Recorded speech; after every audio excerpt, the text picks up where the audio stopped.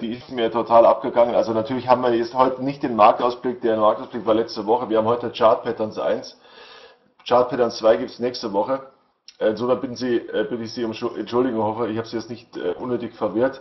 Ich gehe auch gleich jetzt zur, ähm, äh, zur Agenda. Aber bevor ich zur Agenda komme, noch mal ein, zwei einleitende Sätze. Äh, Sie haben es gerade mitbekommen, das Webinar nehme ich auf. Wir, ich werde es dann morgen auf YouTube stellen.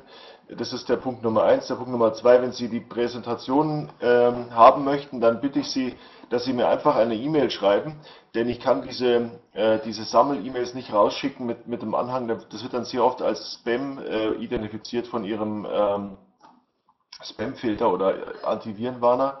Also wenn Sie haben möchten, dann bitte separat mir eine E-Mail schreiben. Äh, Punkt Nummer, das war Punkt Nummer zwei. Punkt Nummer drei ist, wenn Sie Fragen haben, äh, können Sie die, jetzt geht es ja anscheinend in die Chatzeile schreiben. Also wunderbar, wenn es funktioniert, dann äh, ist es ähm, äh, ist das damit auch gesagt. Und ansonsten brauchen wir 45 Minuten, 50, 55 Minuten so roundabout. Also Sie können äh, davon ausgehen, dass Sie den Anpfiff vom äh, Champions League Spiel Bayern gegen Pilsen heute dann noch sehen. Und ich habe auch ein gewisses Eigeninteresse daran. Insofern ähm, können wir das ganz entspannt angehen lassen. Prima, dann schön, dass Sie gekommen sind. Hier sind die äh, Punkte für heute in unserem Seminar Chart Patterns 1, äh, die Folgeveranstaltung übrigens heute in einer Woche, gleiche Stelle, gleiche Welle. Äh, am Anfang geht es um Basics. Äh, wir wollen ja heute so ein bisschen den Schwerpunkt legen auf das Thema ähm, Kurslücken, Gaps. Dann geht's, äh, stelle ich Ihnen konkrete Handelsstrategien vor, insbesondere für DAX, aber auch ein bisschen Forex und auch ein bisschen amerikanischer Markt S&P 500. Und ähm, im, äh, zum Schluss dann noch eine Zusammenfassung, die wir, äh, die ich Ihnen dann äh, noch zeigen wird. Fangen wir an mit äh, den Basics, äh, wie also am Anfang gesagt, oder hier geht es um, um das Thema Chart Patterns und das zum, zur Einordnung. Ich habe mir irgendwann mal überlegt, wie kann man die Tools des Technical Trading, ähm, wie kann man die so klassifizieren, die Tools eines Traders. Und eine Möglichkeit, das zu machen, sind eben Chart Patterns die wir heute besprechen. Eine andere Möglichkeit, ein anderes Tool, ein anderes Werkzeug, was der Trader hat, sind Indikatoren. Auch das ist natürlich sehr populär. Dann gibt es die Marktstrukturansätze, Stichwort Elliott Wave äh, oder auch GAN. Dann gibt es das Thema Sentiment, wenn Sie zum Beispiel an die, ähm, äh, an die Sentimentumfragen denken von verschiedenen Brokernhäusern, wenn es darum geht, äh, die Stimmung von Investoren zu erfassen, aber auch sowas wie die COT-Daten, die Commitment of Trader Report-Daten, auch das ist für mich Sentiment. Dann gibt es die beiden wesentlichen Ansätze vom Trading. Äh, zumindest einen davon haben Sie vielleicht schon mal gehört oder gesehen bei mir, das, nämlich Mean Reversion, äh, wo es äh, im Prinzip um Contrarian-Ansätze geht, also die Rückkehr zu einem Mittelwert. Und äh, das ist äh, ein Ansatz, der mir persönlich sehr gut gefällt. Dann gibt es das Thema Trendfolge. Das ist sicherlich ein bekannter Ansatz oder der bekannteste Ansatz, wenn es darum geht, einen Trend zu erwischen und ihn lange, maximal lange zu reiten.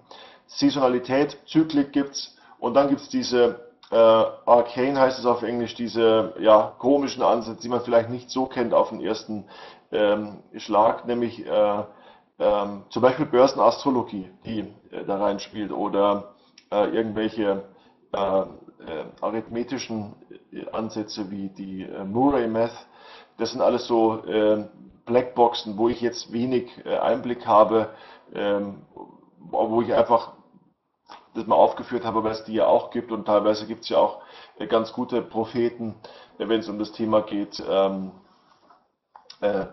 Prognose von Aktienkursen mittels von solchen ja, etwas mystischen Analyseansätzen. Wir beschäftigen uns heute mit Chart Patterns, haben also praktisch äh, den ersten Punkt, den wir uns heute anschauen. Und heute geht's äh, los mit einem sehr interessanten Pattern, was eigentlich sehr regelmäßig vorkommt, was bei Aktienindizes vorkommt, was bei äh, Aktien vorkommt, was bei Rohstoffen vorkommt, was auch bei, ähm, bei den Rentenmärkten vorkommt, nämlich den sogenannten Kurslücken oder auch Gaps.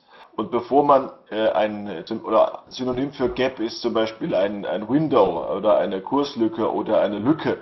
Äh, das sind so Synonyme für diese Gaps. Und was äh, ich heute, äh, womit ich heute anfange, sind sogenannte Labs. Also Lab zunächst einmal, der Begriff ist verwandt natürlich mit Gap.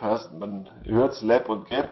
Kommt auch nicht von mir, kommt von Thomas DeMark. Thomas DeMark ist ein, ein recht bekannter US-Trader, der sehr viel mit Larry Williams zusammengearbeitet hat. Ich selber auch sehr viel mit Larry Williams zu tun, beziehungsweise mit Tom DeMark. Deshalb ist der Begriff Lab äh, auf ihn zurückzuführen. Und was ein Lab letztlich ist, äh, das habe ich Ihnen hier mal markiert. Es gibt wie bei Gaps, gibt es auch bei Labs Aufwärts- und Abwärts-Varianten. Ähm, ein Aufwärtslab oder ein Up-Lab genannt.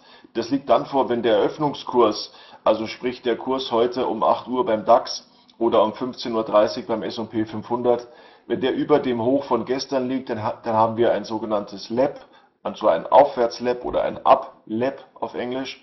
Und wenn der unter dem Tief von gestern liegt, dann haben wir ein Downlap, also ein Abwärtslap, wenn Sie so wollen. Und ähm, hier, das werden Sie dann gleich merken, wenn wir zum Gap kommen, haben wir viele, ähm, hier werden sich viele Trading-Möglichkeiten bieten mit Labs. Also tatsächlich ist es so, dass man eigentlich, wenn man es genau nimmt, mit Gaps gar nicht so wahnsinnig viele Trading-Möglichkeiten hat aber mit Labs dann schon. Denn äh, Lab bedeutet, dass wir einfach nur den Eröffnungskurs haben, der halt über oder unter einem Vortagesextrem notiert. Vortagesextrem, das ist klar, das ist der Hoch- bzw. der Tiefpunkt vom gestrigen Handelstag, also letztlich der Extrempunkt des, des gestrigen Handelstags. Ich will aber auch gleich dazu sagen, wer sagt Ihnen, dass der gestrige Handelstag der einzig wahre der, oder der richtige Handelstag ist, der letztlich definiert, ob es ein, ein Lab ist oder nicht oder ein Gap ist oder nicht. Dazu komme ich gleich, wenn es nämlich um das, ähm, um das Standard-Pattern geht und um, das, äh, um eine Variante des Standard-Patterns geht. Also ein Lab ist nichts anderes, als dass der Eröffnungskurs über oder unterhalb des gestrigen Extremkurses notiert. Ein Lab kann zunächst einmal zu einem Gap führen. Äh, das heißt, es ist durchaus möglich, dass äh, ein Lab äh, um 8.15 Uhr, wenn, um 8 Uhr, wenn der Markt startet, um 22 Uhr, wenn der Markt dann zumacht, Sie merken, ich spreche vom DAX Future, um 22 Uhr dann auch kein Lab mehr ist, sondern ein Gap ist. Aber das muss nicht unbedingt sein. Ein Lab kann zunächst einmal einfach nur dadurch entstehen, dass der Eröffnungskurs vom Extremkurs des Vortages abweicht. Und wie ein Gap draus wird, das sehen wir gleich, aber zunächst einmal ein, zwei Beispiele von einem Lab. Man sieht hier die Balkenchart-Darstellung. In Rot habe ich die äh, Abwärtslabs oder die Downlabs äh, markiert und in diesem Lila habe ich die Aufwärtslabs markiert.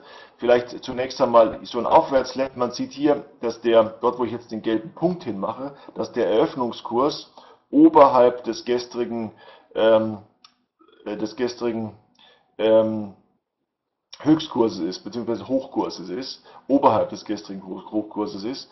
Und äh, im Laufe des Tages ist der Markt aber dann unterhalb dieses Hochs gefallen und das, das, das Gap, das Eröffnungsgap, wie man so schön sagt, ist verschwunden. Also was, was, was bleibt, ist ein Lab, aber das Gap ist eigentlich verschwunden. Man sieht, ich werde die Linie ein kleines bisschen dünner machen, damit Sie das besser sehen. sehen. Man sieht, dass äh, beispielsweise hier ein gleicher Fall war der Eröffnungskurs an dem Tag hier, war oberhalb des, äh, des Höchstkurses und was passiert ist im Laufe des Tages, ist der Markt unter den Höchstkurs wieder nach, runter, nach unten gegangen ist, äh, gesunken. Das sind die äh, sogenannten Downlaps, also die Abwärtslaps. Jetzt gibt es natürlich auch die, die, ähm, die Uplaps oder die, Abwehr, die Aufwärtslaps. Da haben wir zum Beispiel einen Fall wie hier. Hier haben wir äh, den, äh, den S&P, äh, Entschuldigung, den Eröffnungskurs. Der ist hier, auch hier wieder der gelbe Punkt. Und man sieht, aus diesem Lab ist plötzlich ein Gap geworden. Denn, wenn man genau hinschaut, ist dieses Lab am gleichen Tag nicht mehr geschlossen worden. Es ist tatsächlich so gewesen, dass wir mit einer Kurslücke eröffnet haben und dann im Laufe des Tages hat sich diese, der Markt nicht mehr erholt, er ist nicht mehr auf die Beine gekommen, er ist nach unten durchgerauscht und das Lab ist zu einem Gap geworden. Genauso, oder äh, anderer Fall hier, wir haben hier einen, wo ich jetzt den gelben Punkt hier mache, einen Öffnungskurs, der unter dem gestrigen Tief liegt und was passiert? Der Markt recovered im Laufe des, der Handelssession und ähm, schließt oberhalb des, des Vortagestiefs. Also ein Lab ist stehen geblieben. Es ist kein Gap geworden, es ist tatsächlich ein Lab äh, äh, stehen geblieben. Also das ist so ein, so, ein, äh, so ein Beispiel, so ein visuelles Beispiel, wie so Labs aussehen. Man sieht, die Labs sind auf den ersten Blick nicht so gut zu erkennen wie die Gaps. Zu den Gaps kommen wir dann jetzt. Aber sie sind äh, bei genauem Hinschauen beziehungsweise mit etwas Übung natürlich dann schon relativ schnell zu erkennen. Insofern, Sie brauchen da jetzt sich keine äh, großen Sorgen machen. Sie werden das mit ein kleines bisschen Geschick, mit ein kleines bisschen Übung, werden Sie auf den ersten Blick finden, was ein Lab und was ein Gap ist. Äh, wenn Sie vielleicht auch Candlesticks ähm, Charts äh, sich anschauen, möglicherweise fällt es Ihnen dann leichter, äh, weil die Farben dann unterschiedlich sind. Sie haben dann ja meist rot oder grüne Farben. Ich habe selber äh, eine Präferenz für simple Balkencharts. Da steht genauso viel drin und es ist nicht so viel Schickimicki und nicht so viel ähm, äh, kunterbunt drumherum, so dass ich einfach diese, diese normalen ähm, Barcharts mir lieber anschaue als diese Candlesticks. Also das war ein Lab. Äh, wichtig beim Lab zu wissen, der Öffnungskurs weicht von dem Tagesextrem ab. Jetzt kommen wir zum Gap. Ein Gap äh, schaut zunächst einmal in der Standardversion äh, etwas leichter aus, zumindest mal von der, von der visuellen ähm, Aussage als ein sogenanntes Lab. Dieses Gap Pattern, Sie sehen, ich habe das ähm, Gap 1 Pattern genannt und warum das werde ich Ihnen gleich sagen, warum ich das Gap 1 Pattern genannt habe. Dieses Lab Pattern dieses Gap-Pattern ist letztlich nichts anderes, als dass Sie ein, bei einem Aufwärtsgap ein, ein Tief äh, von heute haben, was oberhalb des Hochs von gestern ist. Und Sie merken schon, diese, diese Bedingung, dass ein Tief über dem Hoch von gestern bei einem Aufwärtsgap sein muss, das diese Bedingung kann erst dann wirklich festgestellt werden am Tagesende. Deshalb gibt es ein Gap tatsächlich nur sozusagen Hindsight, also in der Rückschau. Sie können praktisch erst heute, wenn der DAX äh, schließt, um 22 Uhr sagen, ob wir, ob wir denn tatsächlich ein Gap gemacht haben oder ob wir nur ein Lab gemacht haben. Das ist schon mal vorweg gesagt. Punkt Nummer eins. Punkt Nummer äh, zwei. Die äh, die, wenn man sich die grünen Aufwärtsgaps mal anschaut, dann sieht man, dass in der Regel diese Gaps relativ gut sichtbar sind. Hier habe ich mal eine Markierung reingemacht, da sieht man, das ist eine relativ große Kurslücke von, äh, von einigen Punkten, äh, wo man sagen muss, aha, das springt einem ja ins Auge. Man sieht zum Beispiel hier äh, an dem äh, äh, an dem Chart, da ist es äh, gar nicht so äh, auffällig, dass, die, dass hier ein Gap entstanden ist. Hier ist anscheinend irgendwo, wo man mit der Lupe so ein Gap suchen muss. Also vielleicht wird man das gar nicht so sehen, wenn man hier mal so ganz locker drüber schaut. Auch hier bei diesem Tag ist, man, ist es nicht so sicher, wo das, ob hier ein Gap entstanden ist, zumindest mal auf den ersten Blick, man muss schon genau hinschauen. Hier, auch hier ist ein knappes Gap, hier ist dann das Gap wieder relativ klar zu sehen und ähm, das sind die sogenannten Aufwärtsgaps. Welche Implikation ein Aufwärtsgap hat, das werde ich Ihnen gleich zeigen. Also welche Prognose Sie mit einem Gap treffen können. Äh, es gibt ja immer die Möglichkeit, dass man einen Chart analysiert. Wenn man also die klassische Chartanalyse macht und sagt, hier sind Gaps und hier sind irgendwelche Inselumkehren, aber dass sie dann daraus eigentlich keine Prognose ableiten können fürs Trading. Das ist immer äh, diese Prognosefalle, in der man, in der man sich oft sich dann bewegt bei der Technikanalyse, weil man letztlich immer nur die Vergangenheit nach bestimmten Mustern untersucht, aber man muss versuchen, Rückschlüsse auf die Zukunft äh, zu schauen, äh, zu treffen. Das ist, das, das ist die Kunst und dann ist das Trading irgendwann auch, äh, oder dann ist die Analyse, die Technikanalyse irgendwann mutiert sie zum Traden, weil nur dann kann man mit solchen Mustern irgendwas anfangen, wenn es um ähm, äh, tatsächlich auch um Rendite oder um Geld verdienen geht. Also Aufwärtsgaps, die sehen Sie in grün. Dann habe ich in orange äh, eingezeichnet die sogenannten Abwärtsgaps. Abwärtsgap ist praktisch das Analogon dazu. Wir haben einen, ähm, äh, wir haben das heutige Hoch, was unterhalb des gestrigen Tiefs liegt. Das ist ein typischer, äh, typischer Abwärtsgap, ein Down Gap Day. Und genauso wie beim Aufwärtsgap gilt es auch hier zu sagen, dass dieses dass dieses ähm, äh, Gap nur festgestellt werden kann, wirklich final festgestellt werden kann zum Handelsschluss. Also jetzt heute um 22 Uhr können Sie sagen, ob der, ob der DAX ein Abwärtsgap gerissen hat oder ob es nur ein Lab oder, oder er sonst irgendwas war. Auch wie beim Aufwärtsgap ist ein Abwärtsgap leicht zu erkennen. Das, was ich markiert habe hier, das glaube ich, erkennt man recht gut. Äh, auch hier, das meine ich mal, kann man ganz gut erkennen. Hier wird es schon wieder ein bisschen schwierig, weil das ist ein sehr kleines, mikroskopisch kleines Gap, Abwärtsgap. Also auch hier gilt im Prinzip das Gleiche, wie ich es eben gesagt habe, für die, äh, für die Aufwärtsgaps. So, jetzt kommt, ist es die Frage Gap 1. Warum heißt dieses Pattern Gap 1 Pattern? Ganz einfach, äh, denn äh, wenn Sie mich schon oder wenn Sie mich kennen, wenn Sie schon öfter was von mir gehört haben, ich bin immer der Meinung, diese, diese Standarddenken äh, von Technikanalyse ist immer etwas gefährlich, denn äh, jeder oder sehr viele Marktteilnehmer kennen Gaps. Ähm, Fakt ist allerdings, je bekannter etwas wird, umso effizienter wird der Markt. Also umso geringer ist ihr Wettbewerbsvorteil, den sie, den sie haben mit so einem Chart-Pattern. Und deshalb bevorzuge ich äh, nicht Revolutionen, aber Evolutionen. Zum Beispiel eine Evolution könnte sein, dass man nicht den Vortag als Referenz nimmt, nämlich den Tag, wie gesagt, nämlich den einen Tag, nämlich gestern, sondern man könnte vielleicht auch auf vorgestern schauen, nämlich Gap 2 Pattern. Das ist, oder vielleicht sogar Gap 3 Pattern oder Gap 5 Pattern, wie wäre sowas zum Beispiel. Nicht? Das alles könnte man mal überlegen und genau deshalb heißt bei mir das Standard Gap ähm, der Standard Gap, Standard benutzt man ja auch nicht, aber Gap benutzt man jetzt, diese Standard Gap, das nenne ich Gap 1 Pattern, weil damit klar ist, ich meine das Gap, was entstanden ist von vor einem Tag. Und jetzt zeige ich Ihnen sozusagen die erste Variante von diesem Standard Gap. Die, äh, die äh, erste Variante vom Standard Gap, ähm, die äh, zeige ich Ihnen jetzt noch nicht. Ich zeige Ihnen jetzt zunächst die äh, Implikation von so einem Gap. Denn jetzt ist die Frage, ähm, warum oder welche Rolle spielt so ein Gap im, äh, im Trading? Was kann ich damit anfangen?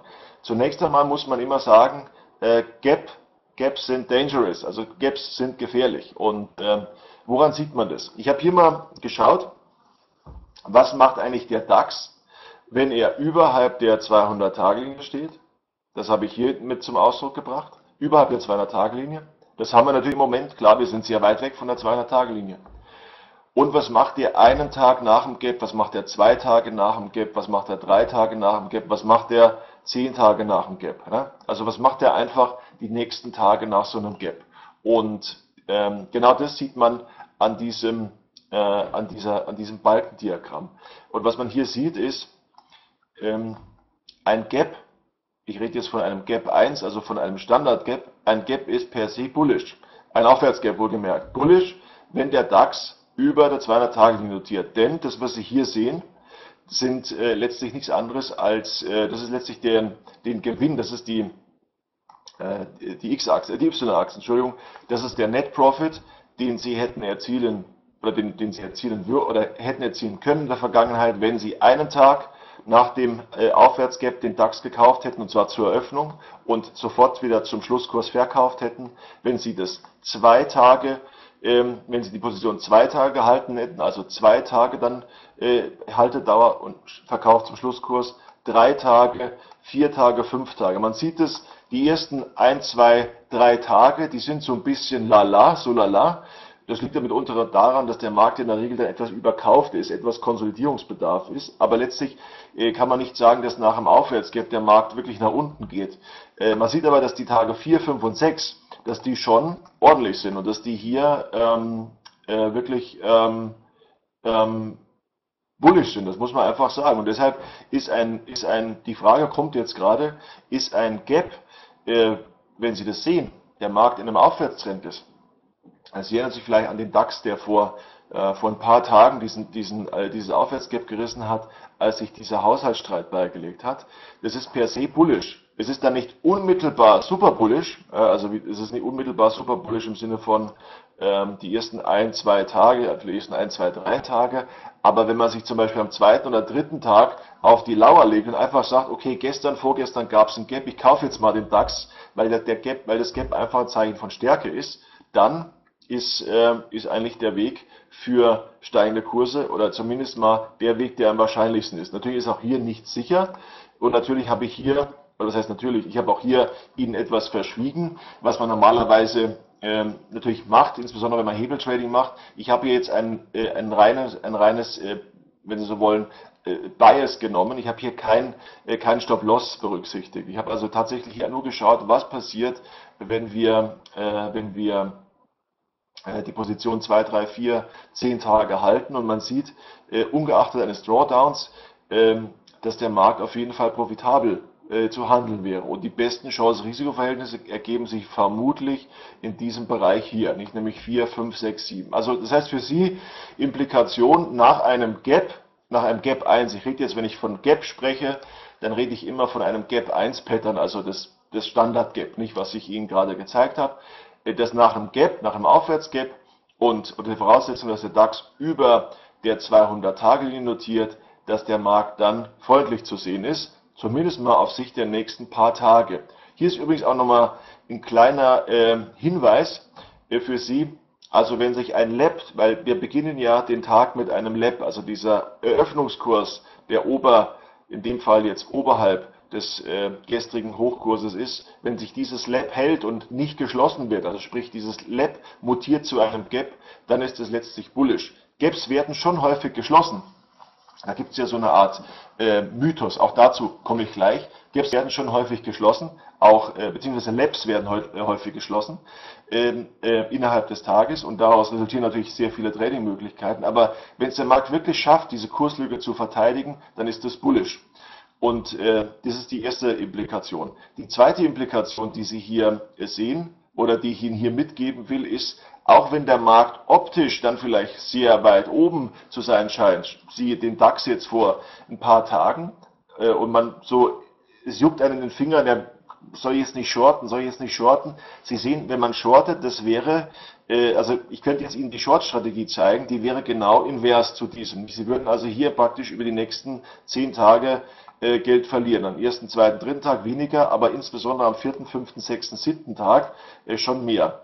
Und deshalb auch mein Ratschlag, lassen Sie dann auch die Finger weg von Shorts. Oder wenn Sie, äh, wenn Sie wirklich Handelsstrategien äh, programmieren oder entwickeln, müssen Sie darauf achten, wenn Sie halt einen Short-Pattern haben, dass Sie vielleicht die ersten zwei, drei Tage davor kein äh, Aufwärtsgap hatten, weil ansonsten Ihr Short-Pattern möglicherweise nicht so funktioniert, wie, äh, wie Sie sich das vorstellen. Also auch das sind mehrere Informationen. Also zum einen für die Long-Trader, es macht Sinn, so Richtung dritter, vierter Tag dann eher auf der Kaufseite sich aufzuhalten. Für die Short Trader, es macht nach dem Aufwärtsgap, äh, nach einem Gap, äh, ist es sehr riskant zu shorten, weil der Markt eigentlich bullish zu sehen ist.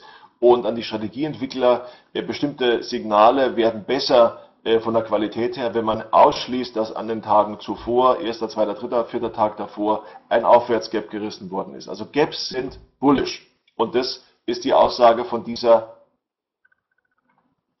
Folie. Sie werden jetzt bestimmt fragen, was ist mit Abwärtsgaps? Mit Abwärtsgaps ist es nicht so einfach. Äh, tatsächlich sind Aufwärtsgaps wesentlich einfacher von der Analyse her als Abwärtsgap. Abwärtsgap verhält sich äh, etwas chaotischer, etwas komplizierter. Ich habe Ihnen auch heute Gaps mitgebracht, weil das zu ähm, jetzt tief gehen würde. Da müsste man tatsächlich äh, über Abwärtsgaps müsste man tatsächlich nochmal äh, in Medias Res gehen und müsste fragen, äh, wie groß ist das Gap? Wie groß ist es äh, in, äh, nicht in, ich meine jetzt nicht in Punkten ausgedrückt, sondern in Bezug auf die Handelsspanne des Vortages. Da müsste man mehrere Klassen bilden und müsste sagen, Gap der Klasse 1, 2, 3 und 4. Und wenn Gap der Klasse 1 eingetreten ist, dann äh, geht es in, keine Ahnung, 80 Prozent der Fälle erstmal wieder nach unten. Das wäre mir jetzt heute zu viel. Das ist vielleicht nochmal interessant für einen Folgetermin. Ich habe sowieso ganz viele Ideen noch für Webinare, die ganz spannend sind. Auch zum Beispiel, wenn es um das Thema Stoppkurse geht, würde ich gerne mal so eine Stunde was drüber erzählen. Ähm, aber deshalb heute, der Schwerpunkt heute liegt ganz klar bei den Aufwärtsgaps, weil hier, weil es einfach einfacher ist für Sie zu verstehen und Sie nicht so viel äh, sozusagen hier oben äh, abspeichern müssen. Und insbesondere die meisten von Ihnen oder vielleicht viele oder einige haben eventuell nicht die Möglichkeit, das, ähm, das zu machen. Beim Downgap unter GT 200 ist es, äh, ist es auch nicht so klar wie hier. Also Sie, Sie sehen da ein unterschiedliches Bild, wie, wie Sie jetzt. Also normalerweise würde man denken, es müsste doch eigentlich symmetrisch sein, ist es aber nicht. Es ist tatsächlich anders. Also die Folie ist eine wichtige Folie für eine wichtige allgemeine Folie für Sie. Es ist jetzt nicht eine, äh, eine, eine, eine spezielle Folie, aber sie, hat, sie enthält sehr wichtige allgemeine Informationen, auch wenn sie vielleicht gar nicht so äh, spektakulär ausschaut, die Folie. Kommen wir jetzt zu einem anderen Punkt, nämlich zum Thema äh, Mythos, wenn Sie so wollen. Alle Gaps werden geschlossen. Und ähm, naja, äh, Mythen, Sie wissen, das ist immer gefährlich an der Börse, wenn es um Mythen geht. Es gibt ja viele Mythen, zum Beispiel auch ein Mythos ist, Stoppkurse schützen. Ähm, das mag sein, aber äh, faktisch ist es so, dass Stoppkurse sehr viel Performance kaputt machen. Aber wie gesagt, das, das ist Beispiel für ein anderes Thema, für ein anderes Webinar. Äh, jedes Gap wird geschlossen, das ist so ein Mythos, oder alle Gaps werden geschlossen. Und ähm, wie so oft an der Börse gibt es halt die allgemeinen äh, Weisheiten nicht. Was ich hier mal versucht habe, ich hoffe, Sie können das nachvollziehen. Ich habe mir immer so ein Abwärtsgap genommen, in lila markiert und habe einfach mal diesen, diesen horizontalen Pfeil hier äh, in blau, das ist dunkelblau, es soll auch ein Pfeil sein, ich hoffe, Sie sehen das, mal genommen und habe einfach mal nach rechts gezogen und damit Sie einfach mal so einen Eindruck bekommen, naja, äh, erstens, wann ist es geschlossen worden, das Gap? Und durch welches Tal, Tal der Tränen musste ich denn durch? Nicht? Ich musste nämlich hier erstmal beim S&P 500 äh, ja, 60 Punkte nach unten gehen, damit ich dann sehe, dass das Gap geschlossen wird. Oder ich muss hier, naja, 10 Punkte nach unten gehen, damit ich sehe, dass das Gap geschlossen wird. Also hier ist zwar der Mythos intakt, aber letztlich, was kostet sie das Ganze? Es gibt äh, vielleicht der Hintergrund nochmal, es gibt sehr viele, die sagen, wenn Gap gerissen wird, dann setze ich, setze ich darauf, dann wette ich darauf, ich spekuliere darauf, dass das Gap auch wieder geschlossen wird.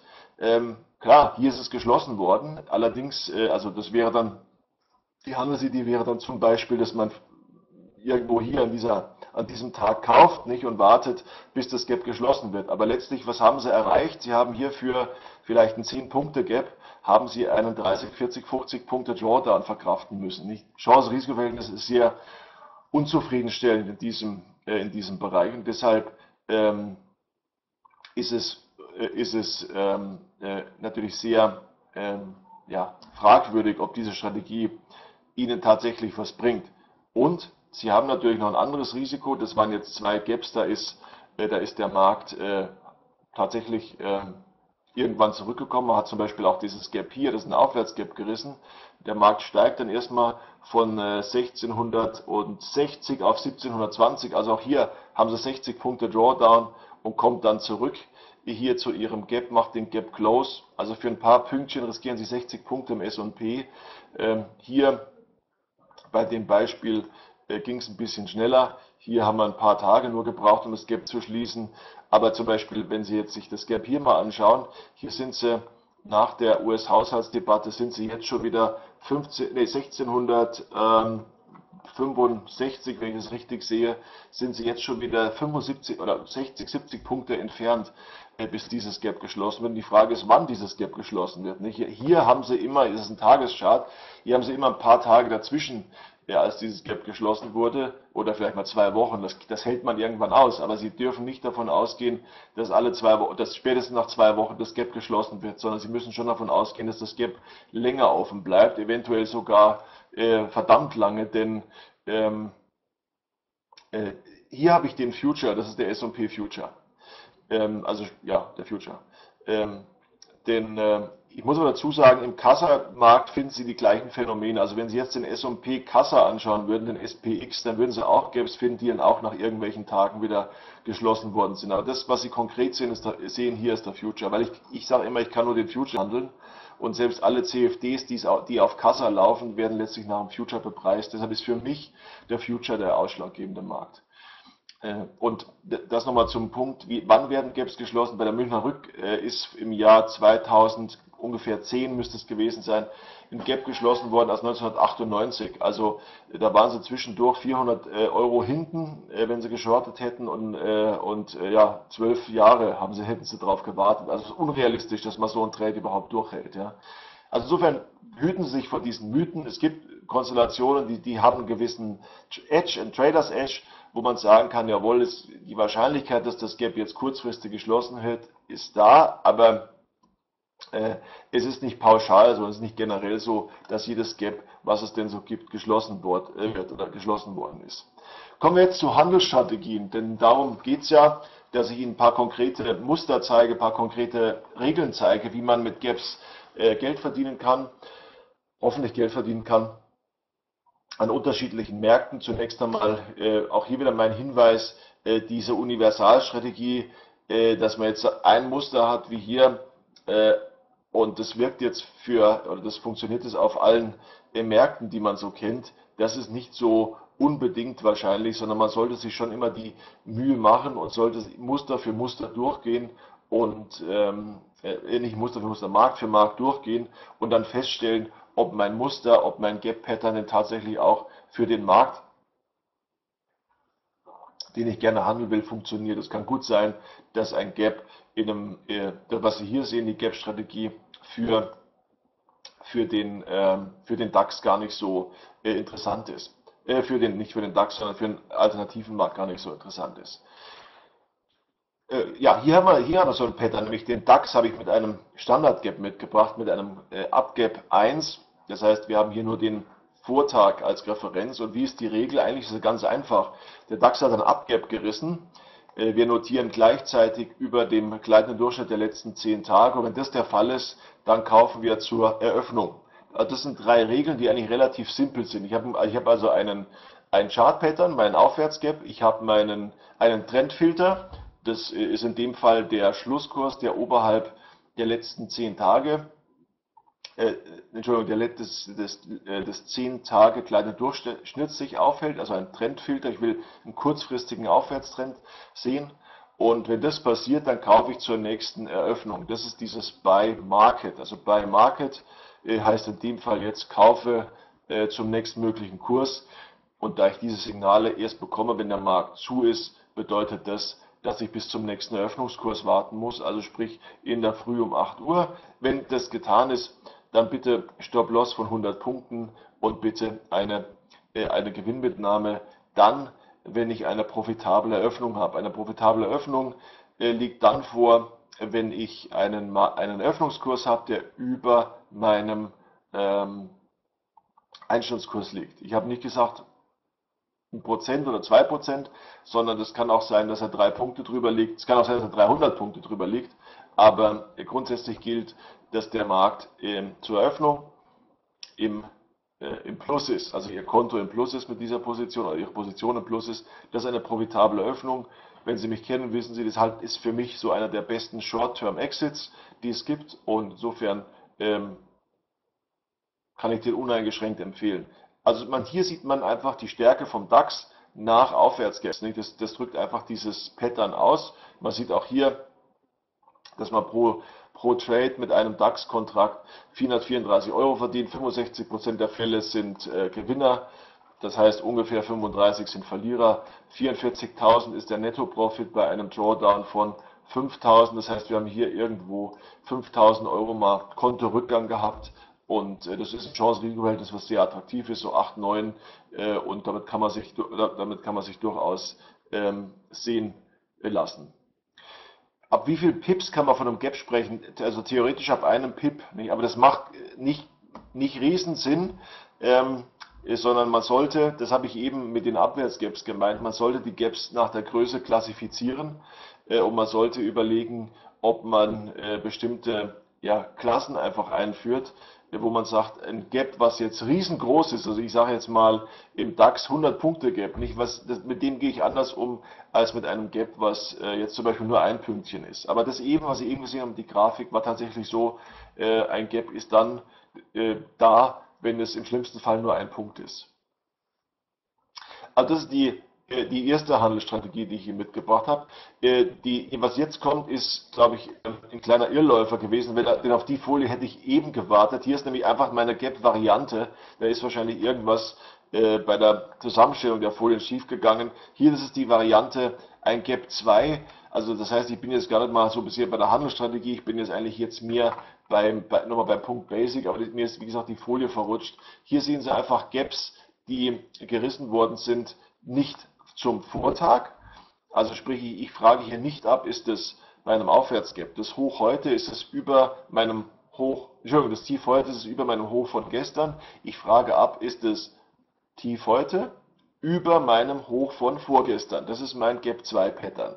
Und Sie sehen in grün die Aufwärts Gap 2 und in rot bzw. orange diese Abwärts Gap 2 Patterns, die letztlich Ihnen zeigen, ob der Markt äh, dieses, diese Gap-Variante gerade spielt. Ich werde Ihnen nachher eine Handelsstrategie mit so einem Gap-2-Pattern zeigen. Sie sehen auch, es gibt rein, rein mal optisch, wenn Sie auf diesen Chart blicken, es gibt viele, äh, viel mehr Trading-Möglichkeiten, sehr viel mehr Opportunitäten, wenn Sie mit so einer Gap-Variante handeln, anstelle eines äh, Standard-Gaps. Und äh, wo wir gerade bei Varianten sind, eine Variante des Gaps ist auch, wenn Sie beispielsweise mit, im Intraday-Bereich mit Pivotpunkten handeln. Nicht? Ist, äh, Pivotpunkte ist ein Durchschnittskurs und mit Pivotpunkte ermittelt der ein oder andere Trader Widerstände, Unterstützungen für den Intraday-Handel.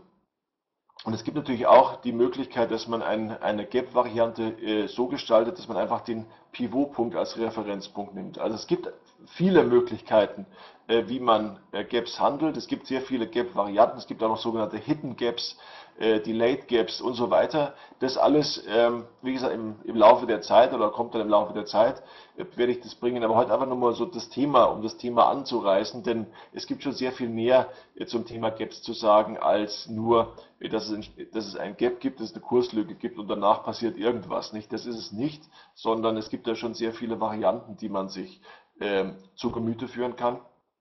Und eine davon ist das Gap2-Pattern. Also das ist nochmal ein Nachschub zu den Basics von eben gewesen. Wir werden, wie gesagt, später noch eine, eine, eine Strategievariante auf dieses, ähm, äh, auf dieses Thema äh, Gap2 sehen. Zunächst, oder, und jetzt gehen wir weiter zum nächsten ähm, wichtigen Element, wenn es um das Thema Gaps geht. Und das ist in der Tat so, wir sehen hier Gap 1, also ein Aufwärtsgap 1 und entsprechende Wochentage. Und zwar habe ich jetzt jemand den Bund Future mitgebracht. Es ist tatsächlich so, dass man äh, Wochentag für Wochentag abwägen muss, äh, ob ein Gap eine, eine gewisse Signifikanz hat oder nicht. Was ich hier mal gemacht habe, ist folgendes. Ich habe einfach mal untersucht, was passiert, wenn im Bund Future ein Gap am Montag, Dienstag, Mittwoch, Donnerstag, Freitag auftritt. Was passiert dann? Ähm, äh, oder was kann ich da mit was äh, reißen? Also ich habe einfach mal äh, simuliert, Aufwärtsgap und ich gehe jetzt Short im Bund Future, äh, wenn, wenn, wenn so ein Aufwärtslap entsteht. Und was man hier sieht, ist letztlich, ähm, es ist eine schlechte Idee, Short zu gehen, Montag und Dienstag, aber es ist eine ganz gute Idee, Short zu gehen, hier am vierten Handelstag der Woche an einem Donnerstag. Und hier sieht man, dass es, ähm, dass es halt eine Rolle spielt, an welchem Wochentag so ein Gap auftritt, denn äh, wie ich Ihnen gleich zeigen werde, gibt es sehr gute Gründe, äh, an bestimmten Wochentagen Gaps äh, nicht zu handeln. Ähm, oder ähm, es gibt gute Gründe, an bestimmten Wochentage mit einem Gap zu gehen. Es gibt aber auch gute Gründe, an bestimmten Wochentagen ähm, gegen so ein Lab zu gehen. Und insofern hier nochmal meine, oder hier eine so eine Art Einleitungsfolie für das, was Sie gleich sehen werden, wenn es nämlich, nämlich auch um Gap-Pattern geht, dass es einfach eine Rolle spielt, ob Sie das am Montag haben, denn Sie wissen, was am Montag ist. Am Montag ist der erste Tag der neuen Woche und der erste Tag der neuen Woche ähm, ist einfach dem Wochenende Ende folgend. Das heißt, das Wochenende ist, ähm, äh, ist handelsfrei. Viele Marktteilnehmer, sie machen es vielleicht auch, äh, lesen Zeitungen, bilden sich Meinungen und setzen die dann gleich an einem Montag beispielsweise um. Und dieses Verhalten ist letztlich ein anderes äh, Verhalten, als wenn, ähm, wenn, wenn, äh, wenn ein Gap entsteht, beispielsweise an einem Donnerstag. Denn an einem Donnerstag, da kann eigentlich so wahnsinnig viel nicht passieren über Nacht, dass sich jetzt plötzlich ein Bund Future mit einem Gap eröffnet und dann weiter Richtung, Richtung Norden dann läuft oder Richtung Süden läuft, je nachdem welche Richtung. Also so wahnsinnig viel kann da nicht passieren. Und deshalb äh, ist es schon nachvollziehbar, äh, dass, dass äh, bestimmte Gaps äh, signifikanter sind als andere. Äh, auch das Thema, ähm, wenn Sie zum Beispiel einen Rentenmarkt nehmen wie den Bund Future und überlegen, dass freitags der komplette mittlere Osten nicht handelt, weil dann dort das vorgezogene Wochenende ist, äh, da ist der Markt einfach dünner, weil er weniger liquide ist. Und insofern sind auch da Gaps, die auf so einen dünnen Markt fallen, anders zu sehen, als wenn sie jetzt beispielsweise Montag oder Dienstag, wo wirklich alle Marktteilnehmer dabei sind, äh, entstehen. Deshalb jetzt mein nächstes, meine nächste, ähm, meine nächste ähm, Folie, da geht es um Don't Sell äh, on Mondays verkaufe nicht an einem Montag, nicht, Sie kennen das Beispiel jetzt von, von meiner Erklärung gerade eben, ähm, verkaufe nicht am Montag, weil am Montag eigentlich alles zum Eröffnungskurs, alles das in den Kursen ist, was sich über äh, das Wochenende angestaut hat. Und was ich Ihnen hier mal mitgebracht habe, ist natürlich ein Markt, der sehr selten Gaps zeigt, aber wenn er sie zeigt, dann wirklich nur montags, nämlich der FX-Markt, der Forex-Markt. Sie wissen, die Forex hat mehr oder weniger rund um die Uhr, fünf Tage die Woche geöffnet. Es gibt letztlich keine Handelsunterbrechung, es gibt keine Handelspause, handelsfreie Zeit, sondern es geht rund um die Uhr weiter. Deshalb gibt es auch rund um die Uhr Kurse. Offiziell ist der Schlusskurs 23 Uhr, äh, je, nach, je nach Zeit, Sommer- oder Winterzeit, aber lassen wir einfach mal 23 Uhr stehen und äh, dann geht praktisch der neue Tag von äh, äh um 23 Uhr 001 dann weiter. Aber letztlich ähm, ist es keine wirkliche Handelsunterbrechung. Aber äh, die Handelsunterbrechung kann dann stattfinden, äh, oder findet am Wochenende statt und deshalb kann auch montags ein Gap entstehen in einem, in einem Forex-Markt was nicht unbedingt heißt, dass jeder, ähm, jeder Markt profitabel dann zu handeln ist. Aber was ich hier mal gemacht habe, hier einfach mal ein paar Währungspaare äh, angeschaut und einfach mal folgendes Muster äh, ähm, gehandelt. Monday, also ist heute, heute ist Montag, die Eröffnung ist äh, kleiner äh, als, der, als das Tief von gestern, also sprich als das, der Montagseröffnungskurs ist kleiner als das Tief von letzten Freitag. Äh, wenn das der Fall ist, dann kaufe ich, sobald der Kurs über dieses Tief hinaus ansteigt. Also wenn ich das mal hier ein, anzeichne, hier ist der, wenn man so will, der Freitags, äh, die Freitagskerze, die schaut so aus und Montag eröffnet der Markt jetzt hier. Ne? Das ist mein Eröffnungskurs am Montag, wo das X ist. Und was ich jetzt will, oder wie die Regel heißt, bei Low 1 Stop. Und Low 1 ist genau dieses, dieser rote Punkt. Ich kaufe also, wenn der Markt am Montag unter dem Tief von Freitag eröffnet, aber dann im Laufe des Tages über dieses Tief hinaus ansteigt. Nicht? Ich platziere also einen Kaufstopp. Und genau das meint dieses Bildchen und genau das meint diese Orderart. Ähm, das machen wir montags im FX-Markt. Und äh, wie Sie sehen, ich habe jetzt hier mal eine tabellarische Aufstellung mitgebracht. Ähm, ja, um 23 Uhr ist die Close-Feststellung.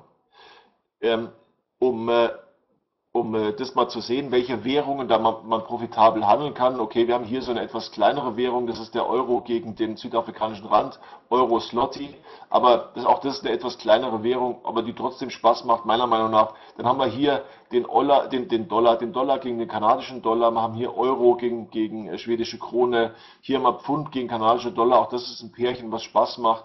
Äh, Australdollar gegen Euro, Euro-Pfund, nicht große Währung, Euro, äh, Australdollar, Neuseeland-Dollar ist eine interessante Währung, handeln wir auch bei uns recht viel. Äh, Australdollar, kanadischer Dollar ist eine spannende Währung. Also hier gibt es schon so ein paar äh, Währungen, die ganz interessant sind für, für einen Trade, für den einen oder anderen Trade.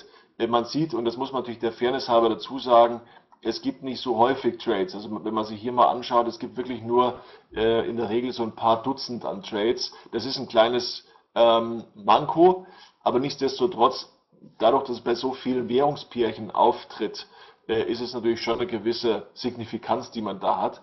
Und es sollte heute, oder ich bin ganz sicher, dass es so ist, ist heute kein Problem, dass Sie ähm, das mit automatischen, ähm, äh, mit einem Scanner oder so, mit einem kurzen Blick auf den Chart identifizieren.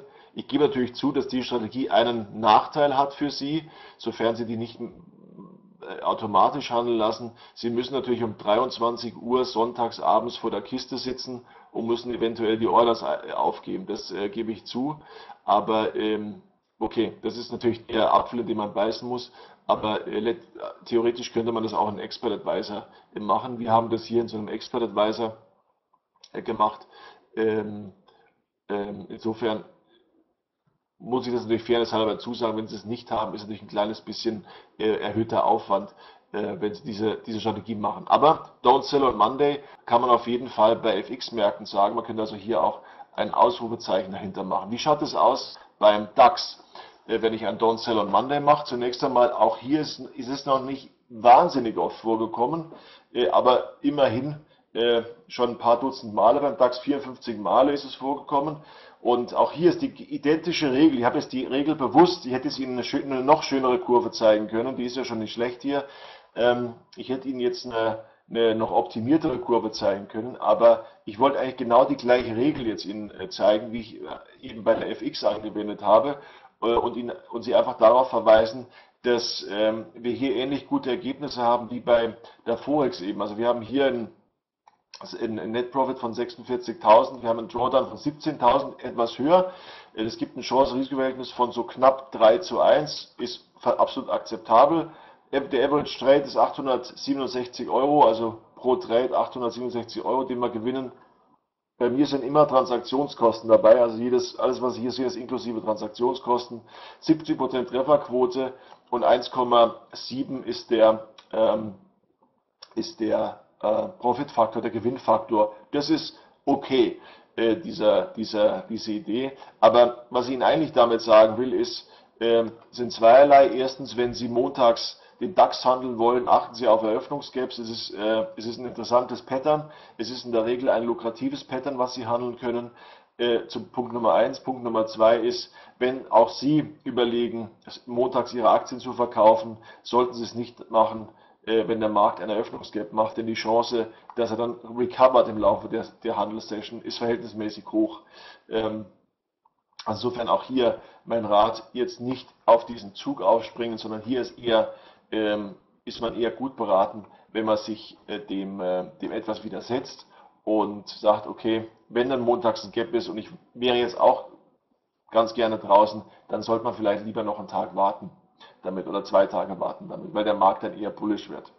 Montags. Schauen wir uns mal an, wie, äh, und das ist jetzt auch eine kleine Trading-Variante, wie man so ein Lab, also ein Lab jetzt, also wir reden jetzt nur vom Eröffnungskurs, der unter dem Tagestief oder Tageshoch von gestern ist, wie es mit dem um, um so ein Lab bestellt, in Kombination mit einem, Entschuldigung, mit einem ähm, kleinen Durchschnitt. Und ich habe hier einfach mal so einen ganz kurzfristigen kleinen Durchschnitt genommen, nämlich ein kleiner Durchschnitt der letzten fünf Tage. Und die Handelsregel, die Sie hier sehen, ist eigentlich ganz einfach. Äh, es ist, wir handeln an einem Montag oder an einem Freitag. Sie merken wieder Montag oder Freitag, also zwei Wochentage, die, weil wir eben gesehen haben, Wochentage sind durchaus relevant, wenn es um das Thema Gaps geht, die da sind. Wir haben einen Eröffnungskurs, der unter dem Tiefkurs von äh, des Vortages ist, also ein Gap 1, wenn Sie so wollen. Und gleichzeitig ist der Eröffnungskurs auch unter dem GD der letzten fünf Tage, also unter dem gleitenden Durchschnitt der letzten fünf Tage. Das ist diese blaue, dünne Linie, die Sie hier sehen. Das ist der GD5, den man hier sieht. Und wenn das der Fall ist, kaufen wir, sobald der Markt über, äh, über das Tief hinweg ansteigt, also wieder gleicher Fall. Ich habe hier Open Close und ich habe hier meinen Tiefkurs, der Markt eröffnet hier. Und erst wenn der Markt hier herüber hinaus ansteigt, dann kaufen Sie mit einem Buy Stop. Also das ist die Logik und das ist die ähm, Idee, die dahinter steckt. Und wir steigen hier aus nach zwei Tagen. Und das, was ich Ihnen hier mitgebracht habe, ist eine Strategie, die ich auf ein ETF äh, habe laufen lassen. Man muss natürlich dazu sagen, ETF ist nicht so spektakulär wie ein CFD oder wie ein Future, aber äh, was ich Ihnen einfach mal zeigen wollte, ist, was passiert mit der Strategie, auch Chance, Chance risikomäßig, wenn ich keinen Stop-Loss verwende. Ich verwende hier wirklich keinen Stop-Loss, sondern gehe gnadenlos zwei Tage später raus. Und wie wirkt sich das auf mein Drawdown aus? Und das sehen wir jetzt in dieser äh, Folie hier.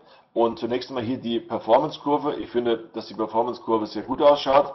Die Zahlen, natürlich Nettogewinn von 9000 ist nicht so spektakulär. Allerdings ähm, äh, ist es ein ETF. Ich kann es nochmal sagen. Und das Konto, was wir, was wir äh, benötigt hätten, wäre nur 11.000 äh, Dollar. Also mit 11.000 Dollar hätte man das schon handeln können. Dieses, diese Strategie hätte 9.000 gemacht in den letzten paar Jahren. Ist also nicht verkehrt.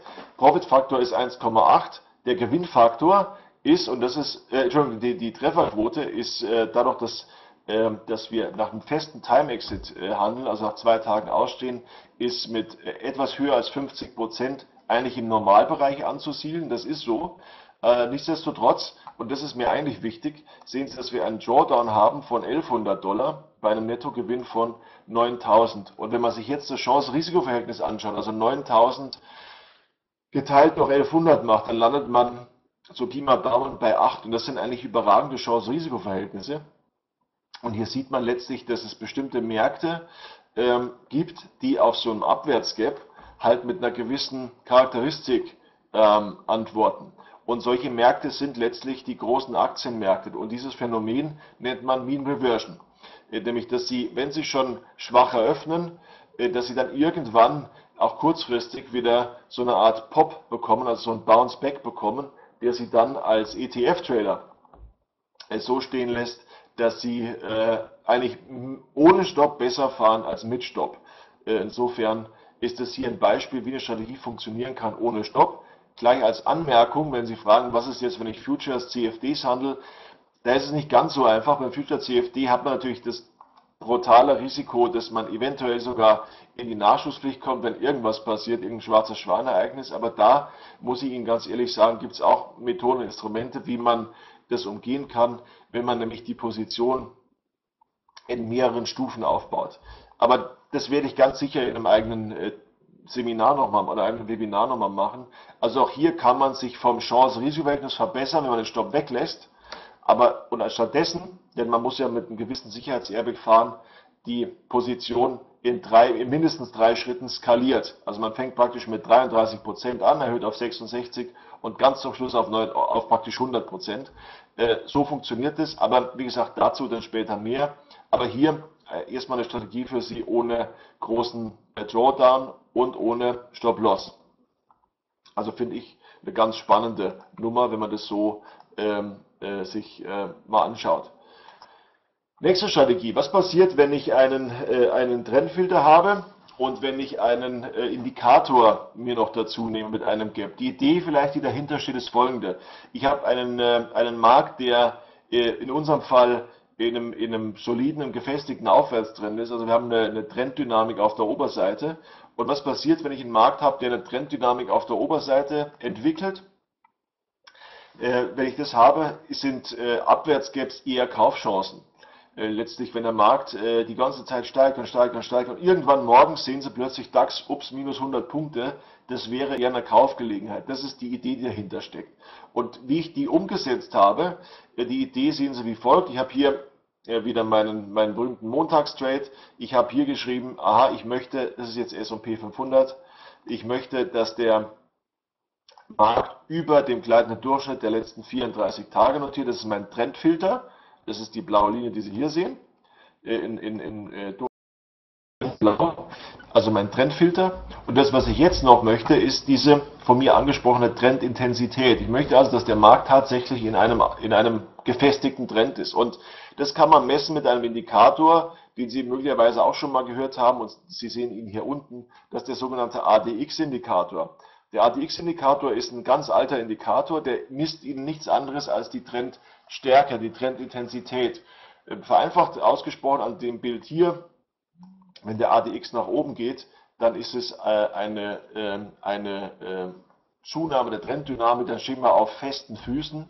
Und wenn der ADX wie hier nach unten geht, dann nimmt der Trend um, um, um, um es mal so auszudrücken, etwas ab. Also egal ob das ein Aufwärts- oder Abwärtstrend ist, die Trenddynamik geht zurück. Der ADX zeigt Ihnen auch nicht die Richtung des Trends an, er zeigt Ihnen einfach nur an, ob es ein starker Trend ist, der nach oben oder äh, der, der halt einfach da ist, der entweder nach oben oder nach unten geht. Hier am Bild sehen wir einen Trend, der nach oben geht. Aber die Idee, die ich eben formuliert habe, die drücke ich so aus, indem ich sage, der ADX, also dieser Indikator, mein Trendintensitätsmesser, der soll bitte schön größer sein als 25. Denn wenn er größer ist als 25, äh, dann heißt es, dass ich eine gewisse Trendstärke habe. Und wenn ich diese gewisse Trendstärke habe, dann will ich definieren, ist ein Aufwärts- oder Abwärtstrend. Dafür schaue ich mir meinen gleitenden Durchschnitt an. Der letzten 34 Tage bin ich drüber, wunderbar, da habe ich einen Aufwärtstrend offensichtlich. Bin ich drunter, dann habe ich wahrscheinlich einen Abwärtstrend. Und dann möchte ich in dieser Konstellation Trenddynamik, Trendfilter, in dieser Konstellation möchte ich ein Abwärtsgap haben. Und wenn ich dieses Abwärtsgap habe, genau das gleiche Spiel wie eben, ich kaufe so, sobald der Markt über das Tief von dem Vortag hinaus ansteigt. Ich steige nach einem Tag aus und der Stop-Loss ist nicht 100 äh, Punkte beim S&P, er ist 17 Punkte beim S&P. Äh, das ist mein Standardstop beim S&P. Insofern ist das der Stop-Loss. Jetzt schauen wir uns mal, was, raus, was rauskommt. Es kommt eigentlich ein sehr, gute, ein sehr gutes Ergebnis raus. Wir haben hier eine Trefferquote von 83 Prozent. Wir haben Profitfaktor von 2,6. Wir haben einen Nettogewinn von 17.000 und ein Drawdown von lediglich 1600. Das heißt, wir haben ein Chance-Risiko-Verhältnis von 1 zu 10 und das ist eine sehr gute äh, Verhältniszahl, denn dieses, ähm, äh, diese einfache Strategie, verhältnismäßig simpel, die ist so, dass ich ähm, mit dem Kennzahlenmuster, mit dem, mit dem Raster an Kennzahlen eigentlich wunderbar leben kann und ich eigentlich überhaupt nicht ähm, äh, jetzt anfange zu optimieren.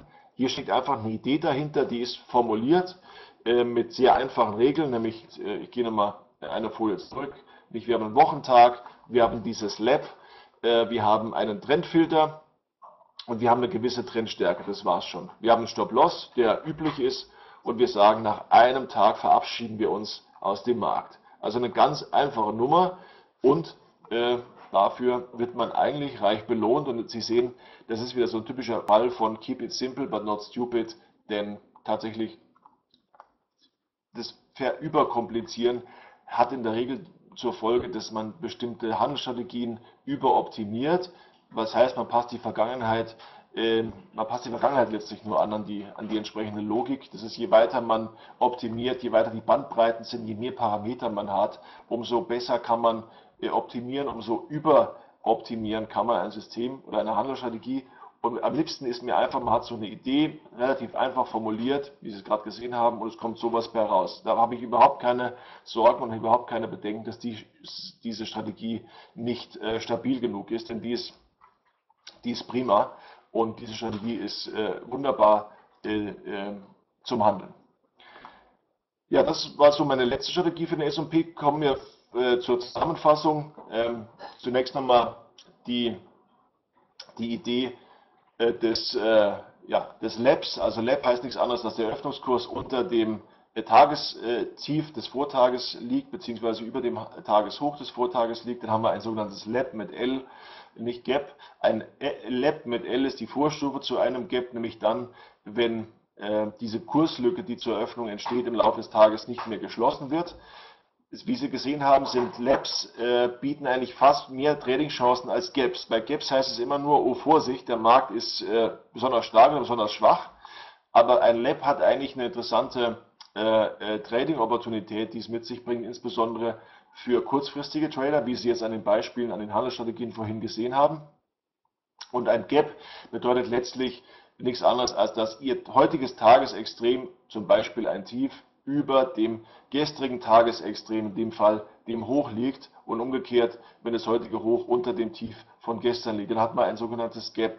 Und die Variante, die ich Ihnen gezeigt habe, heute kurz gezeigt habe, ist ein Gap äh, N, also ein N-Gap, wo man sagt, das Gap liegt nicht unter dem Extrem oder über dem Extrem von gestern, sondern von dem von vorgestern oder vorvorgestern oder von vor fünf Tagen. Das ist die Idee, die dahinter steht.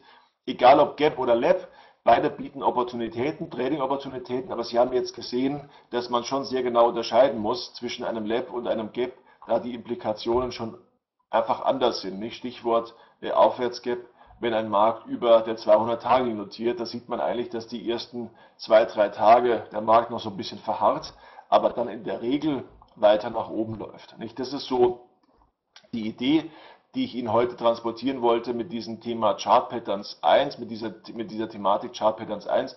Bei Chart Patterns 2 werden wir, äh, was dann heute in einer Woche stattfindet, werden wir uns auch nochmal was anschauen, was interessant ist, nämlich wir werden uns äh, anschauen die Verbindung eines Labs mit einem gewissen ähm, Blow-off-Pattern. Ich habe das mal so getauft. Was das ist, erfahren Sie nächste Woche. Es ist dann letztlich so eine Art ähm, Volatilitätsmuster, was sich abspielt. Und häufig äh, ist so ein Volatilitätsausbruch in Verbindung mit einem Gap eine sehr ähm, explosive, aber auch eine sehr profitable Konstellation, wenn Sie traden möchten, wenn Sie kurzfristig traden möchten. Und das werde ich Ihnen dann nächste Woche zeigen. Schwerpunkt wird auch nächste Woche wieder sein, natürlich der DAX, so ein bisschen äh, die, die, äh, die FX-Schiene, also die, die Forex und auch nächste Woche ein bisschen mehr äh, über Edelmetalle, also Gold. Das war jetzt so, äh, so weit, so gut, kann man sagen, die, äh, die, der inhaltliche Teil. Jetzt zum Schluss noch zwei, drei Hinweise in eigener Sache. Wir haben aufgrund der Anfragen, die wir hatten von Ihnen über Webinare, über Seminare und so weiter, ähm, es gibt eine Aufzeichnung von dem Webinar, ja, das ist richtig, die wird ab morgen auf meinem YouTube-Kanal stehen. Dann können Sie sich diese, diese, diese, dieses Webinar nochmal von vorne anschauen, wenn Sie jetzt gerade wie geschrieben, zu spät gekommen sind. Ähm, wir haben aufgrund der Anfragen, Webinare und so weiter äh, immer wieder, ähm, die wir immer wieder bekommen haben, entschieden, dass wir einen Dienst äh, auflegen, einen Dienst, eine Art Börsenbrief, wenn Sie so möchten. Das nennt sich Handelssignale vom Börsenprofi.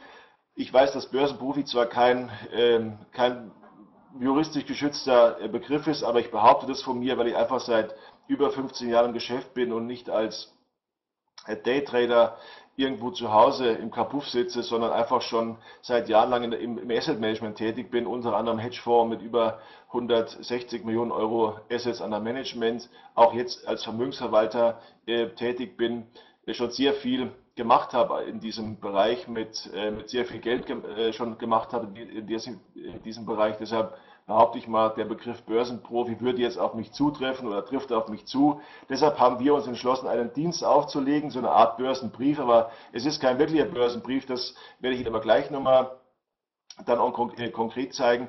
Wir handeln DAX, S&P 500, ähm, äh, Gold, Silber, Öl, auch die größten äh, die größten Währungen, die Majors und äh, insbesondere mit saisonalen Strategien, mit Chart-Pattern-Strategien. Also das haben wir heute eigentlich in, in, so einer, in so einer Art und Weise habe ich Ihnen das gezeigt, wie, wie, wie das funktioniert und auch Intermarket-Strategien. Und vielleicht ein kurze, kurzes Beispiel, eine Chart-Pattern-Strategie für einen DAX würde jetzt so ausschauen, wie hier. Hier habe ich einfach mal so einen Performance-Report mitgebracht. Ah, das ist ein, so, so ein Chart-Pattern für einen DAX, was wir handeln. 95,6% Winner, 21.000 ist der Net Profit und 2.400 ist nur der Drawdown, also Chance-Risiko-Verhältnis so von 7, 8 zu 1, sehr guter Wert.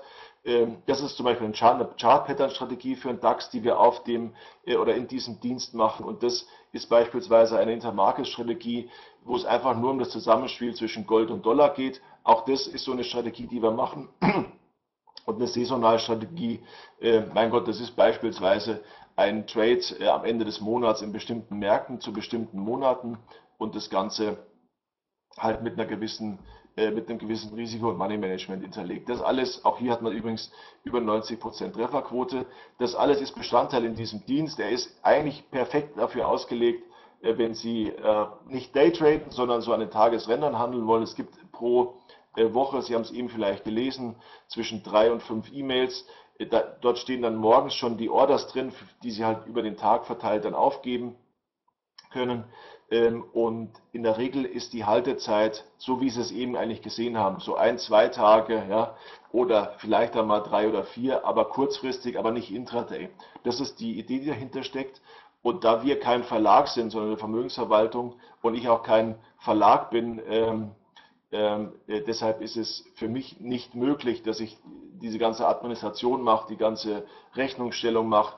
Äh, Sie wissen, was da noch kommt, das Forderungsmanagement und so weiter, sondern wir haben einfach mit zwei Partnern dieses Modell ins Leben gerufen, äh, nämlich ähm, hier sehen Sie, dass wir mit IG Markt zusammenarbeiten, dass wir Ihnen diesen Dienst für sieben Monate kostenlos anbieten. Sie zahlen also für sieben Monate nichts unter einer einzigen Auflage, dass Sie ein Konto bei IG Markets unterhalten und, ihre, und die Trades dort abbilden. Wenn Sie schon ein Konto haben, ist es kein Problem.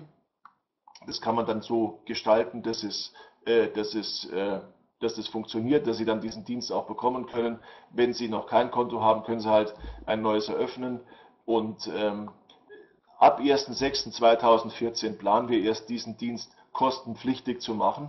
Äh, also es ist noch lang hin und würde dann kosten 99 Euro im Jahr. Allerdings auch hier gibt es dann wieder einen Discount für die Trader, die mit IG Markets zusammen handeln. Da kostet nur 330 Euro im Jahr. Hintergrund ist einfach der, wir wollen uns nicht mit diesem ganzen Backoffice beschäftigen. Auf der einen Seite, auf der anderen Seite besteht Bedarf, weil wir einfach sehr viel Nachfrage bekommen haben. Und deshalb haben wir eigentlich so eine wunderbare Lösung gefunden. Sie brauchen auch keine Angst haben, Sie zahlen jetzt nicht mehr bei IG. Sie zahlen genauso viel wie vorher, nur IG quersubventioniert uns äh, oder subventioniert uns praktisch äh, quer in diesem, äh, in diesem Bereich. Insofern ist es für Sie eigentlich ein, ja, ein No-Brainer. Also wenn Sie jetzt ein Konto haben, ist sowieso kein Problem. Wenn Sie noch keins haben, ist eigentlich auch kein Problem, weil Sie haben es relativ schnell aufgemacht. Hier sehen Sie die Kontaktadresse. Ich würde Sie einfach nur bitten, mir dann bei Interesse eine E-Mail zu schreiben und Sie bekommen dann von mir im Prinzip so eine Art Anweisung, wie man weiter verfahren oder wie Sie weiter verfahren sollen dann bitte und dann kann man das relativ schnell aufsetzen. Also wir haben jetzt schon jede Menge, ähm, die mitmachen und äh, ja, hier schreibt gerade jemand, funktioniert gut mit dem IG Market Support. Also insofern, das ist auch ein Partner, den man wunderbar und uneingeschränkt empfehlen kann, weil er einfach der größte ist, seit Jahren im Markt ist, etabliert ist und das Ganze äh, wie gesagt, mit uns zusammen macht. Das heißt, wenn Sie da anrufen, dann werden Sie sowieso offene Türen einrennen, weil die da Bescheid wissen, um was es geht. Also, das ist mein Angebot. Sie bekommen dann, wie gesagt, drei bis fünfmal die Woche E-Mails mit Signalen und am Wochenende gibt es dann so einen kurzen Wochenbericht, ja, wo Sie dann ähm, einen kurzen Kommentar zur, zum aktuellen Musterdepot erfahren können. Jetzt verstehe ich die Frage nicht immer, CFDs sind genannt, also die, die Abbildung der Trades erfolgt mit CFDs. Ja, das ist richtig, falls das die Frage gewesen ist.